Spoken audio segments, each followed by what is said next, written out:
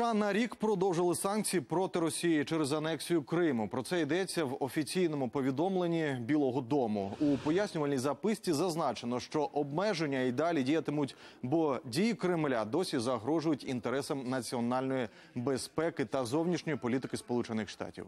Цей пакет санкцій ухвалила і кілька разів розширила ще адміністрація Барака Обами 2014 року. А чинний президент Дональд Трамп неодноразово їх продовжував.